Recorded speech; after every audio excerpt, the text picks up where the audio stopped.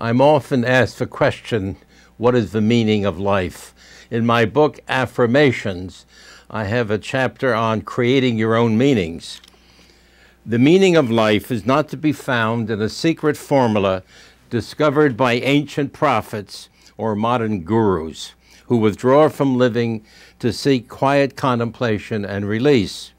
Life has no meaning per se. It does, however, present us with innumerable opportunities, which we can either squander and retreat from in fear or seize with exuberance. It can be discovered by anyone and everyone who can energize an inborn zest for living. It is found within living itself as it reaches out to create new conditions for experience.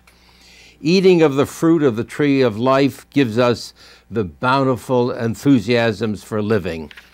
The ultimate value is the conviction that life can be found good in and of itself.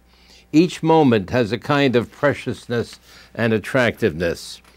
The so called secret of life is an open scenario that can be deciphered by everyone. It is found in the experiences of living in the delights of a fine banquet, the strenuous exertion of hard work, the poignant melodies of a symphony, the appreciation of an altruistic deed, the excitement of an embrace of someone you love, the elegance of a mathematical proof, the invigorating adventure of a mountain climb, the satisfaction of quiet relaxation, the lusting, lusty singing of an anthem, the vigorous cheering in a sports contest, the reading of a delicate sonnet, the joys of parenthood, the pleasures of friendship, the quiet gratification of serving our fellow human beings. In all of these activities and more.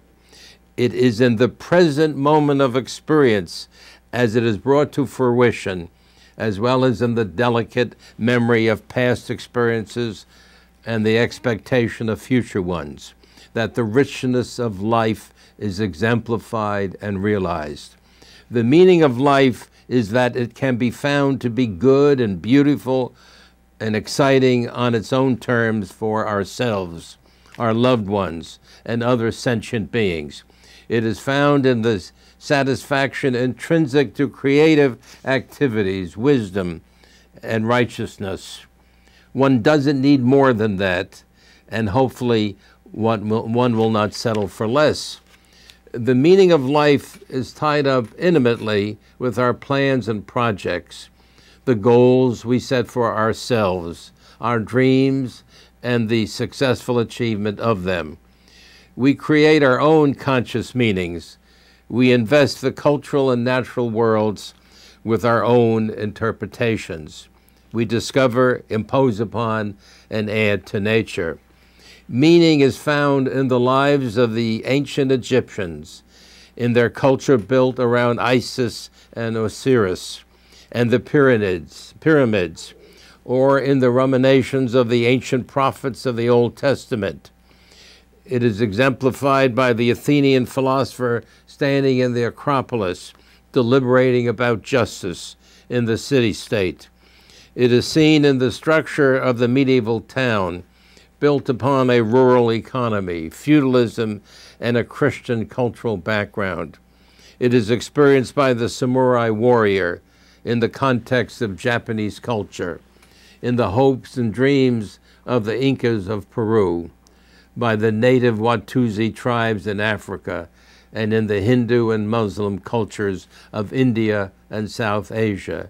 And it is exemplified anew in the modern post industrial, technological, urban civilizations of the present day world, which give us new cultural materials and new opportunities for adventure. Human beings have found their meanings within the context of historical cultural experience and in how they are able to live and participate within it. Life had meaning to them, only the content differed. The form and function was similar. Life, when fully lived under a variety of cultural conditions, can be euphoric and optimistic. It can be a joy of experience and a wonder to behold.